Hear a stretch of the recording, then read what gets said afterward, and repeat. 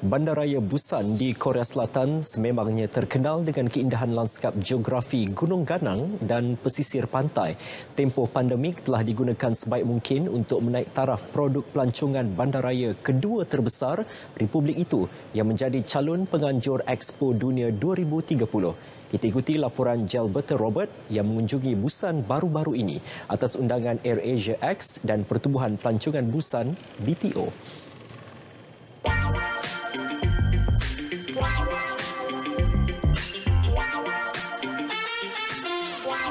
Busan Tourism Organisation menyasarkan ketibaan lebih 10,000 pengunjung dari Malaysia untuk tahun ini. Selain terkenal dengan keunikan lanskap geografinya seperti di pantai ini, Busan juga terkenal dengan keunikan seni budaya dipengaruhi muzik K-pop dan K-drama.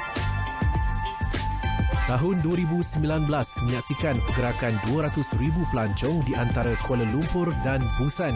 Syarikat penerbangan Air Asia X yakin permintaan bagi sektor Kuala Lumpur Busan berpotensi untuk dijadikan penerbangan harian berbanding tiga kali seminggu pada masa ini. So basically it's half lah.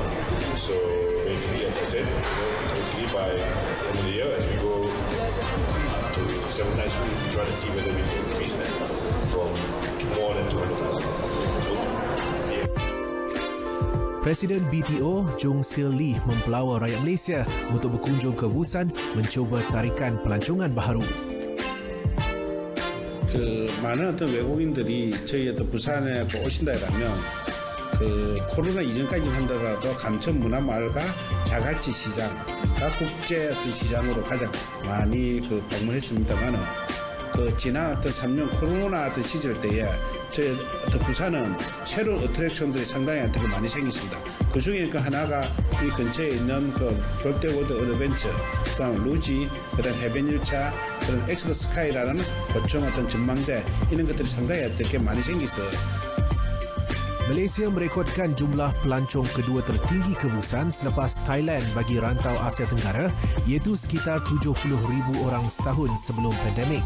Penambahbaikan kiat dilakukan lebih-lebih lagi ke arah kempen pencalonan sebagai tuan rumah Expo Dunia 2030. Satu cuaca sejuk Satu lagi macam saya Umur-umur saya macam ni Sesuai lah sebab dia uh, Laut dia um, Dia punya suasana dia agak tenang daripada Seoul Seafood dia best seafood dia very fresh uh, and then dari segi culture tu saya tengok uh, untuk culture apa ni uh, kampung-kampung ni kan uh, kita kita boleh lihat lah macam mana art dia orang orang sangat menghargai Panorama indah selain keunikan budaya menjadikan Busan antara destinasi yang wajib dikunjungi rantau ini. Anda takkan bosan di Busan. Jabatan Robert, RTM.